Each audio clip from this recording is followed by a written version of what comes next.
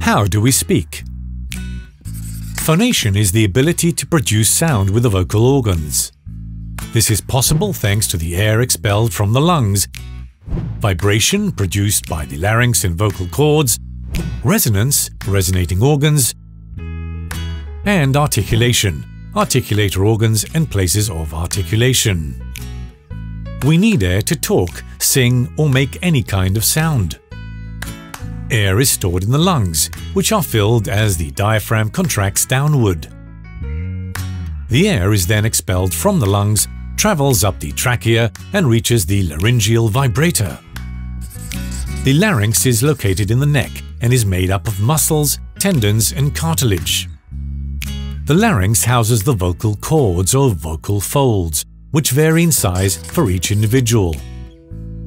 When air is pushed up from the lungs, the vocal cords come together to create an obstruction that makes the air move in a particular way.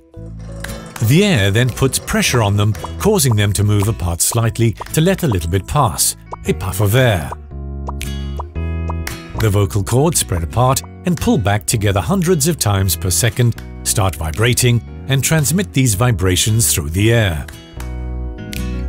The air then enters the pharynx, i.e. the mouth and throat, where the vibrations are amplified by the resonators, mainly the oral cavity and nasal cavity, and modulated by the movements of the jaw, tongue, lips, and soft palate.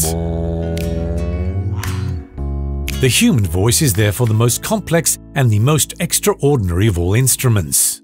It's a wind instrument string instrument, and percussion instrument all at once.